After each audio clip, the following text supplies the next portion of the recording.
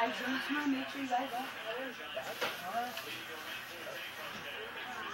I still want to I still want to make chocolate chip cookies one of these days this week, but uh, can't. I have no fucking counter space gun. That's not my fault. But I'm sure you can find someone for me. Well, did you not pick at the walls at the house? Did you not? Did you not pick at the walls at the house? That's not why it was condemned, and you fucking know it too. No, why was it condemned